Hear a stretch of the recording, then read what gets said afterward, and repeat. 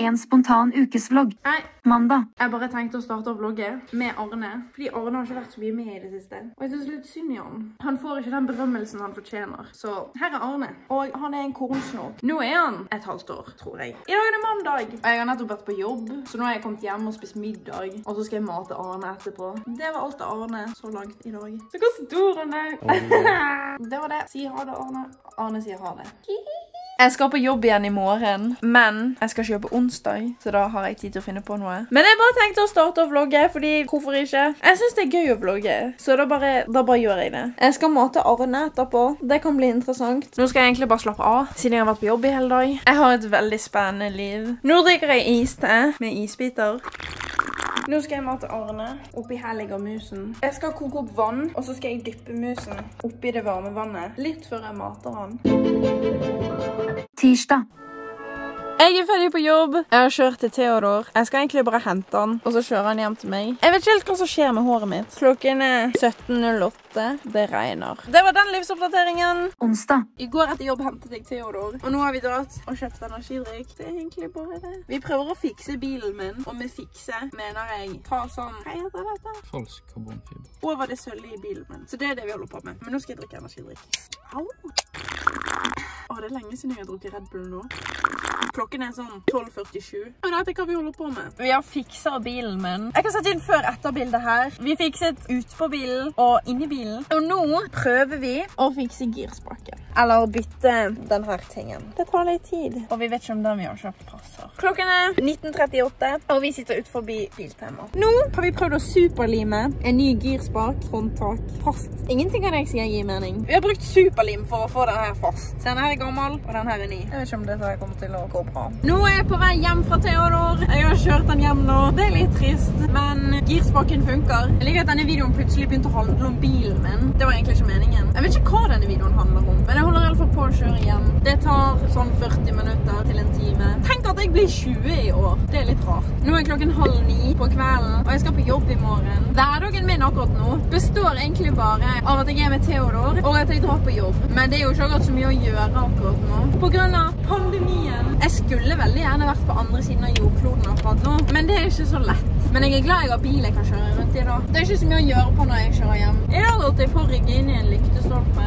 men det gikk bra. Nå er jeg hjemme. Klokken er 22.59. Jeg skal på jobb i morgen, så jeg bør egentlig legge meg nå. Ok, god natt. Torsdag. Nå er klokken ti på sju på morgenen, og jeg skal på jobb. Jeg sitter i bilen min. Jeg skal inn på jobben nå. Nå er jeg hjemme fra jobb. Jeg er trøtt, så jeg har funnet meg en energidrikk som jeg skal drikke.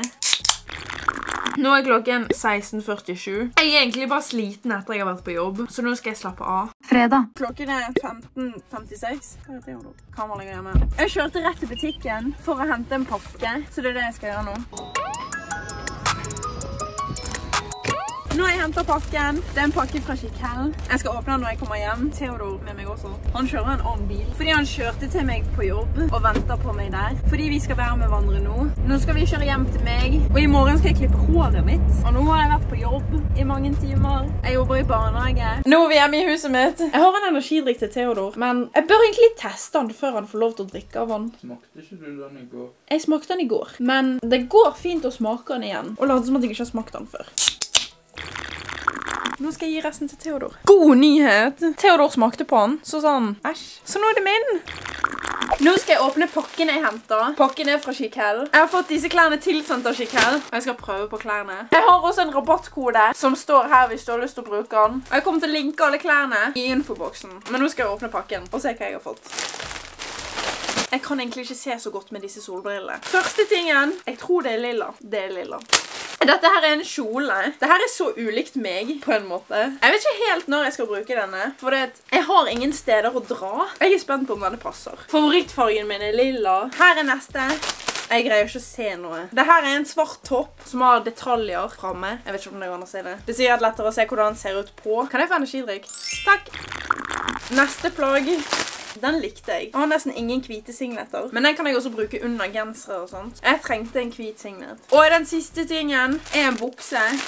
Som jeg er spent på om kommer til å passe. Jeg har null peiling på hva størrelse jeg bruker i bukser. Jeg håper ikke det bare er meg. Stoffet var i alle fall veldig godt. Men de er vide i beina, og jeg gleder meg til å se om de passer. Dette her er buksen på.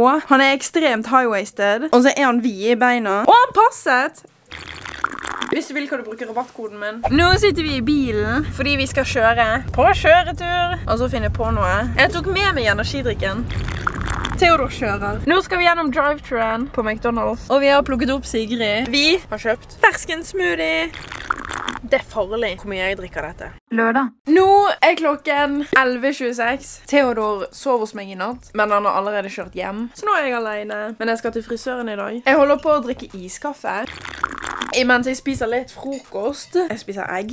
Nå skal jeg begynne å gjøre meg klar for dagen. Jeg orker ikke å filme det. Så jeg bare gjør det veldig enkelt. Og så filmer jeg når jeg har gjort meg klar. Ok. Ferdig! Og nå skal jeg ta og dra til frisøren. Dette her er hva jeg går med. Jeg vet ikke hvorfor jeg går med t-skjorte. Det er fortsatt iskaldt ute. Men jeg har i alle fall på meg en svart t-skjorte, en vest og vanlige bukser som er løse i beina. Nå sitter jeg i bilen, og jeg skal kjøre til frisørtimen min. Jeg er veldig spent. Kanskje litt nervøs. Nå er jeg hjemme igjen fra frisøren. Det går egentlig ikke an å se at jeg har klippet meg. Vi har kun klippet av to centimeter av håret mitt, og fikset opp i luggen som jeg har klippet selv. Så det var ikke noe særlig stor forandring. Men jeg er hjemme igjen. Og nå er, nå er ikke håret mitt slitt lenger. Og nå skal jeg steke meg pizza. Dette her er lunsjen min i dag. Nå er jeg nede på rommet mitt med pizzaen min.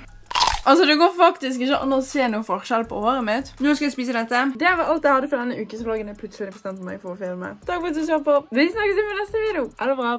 rainy day. On a rainy day.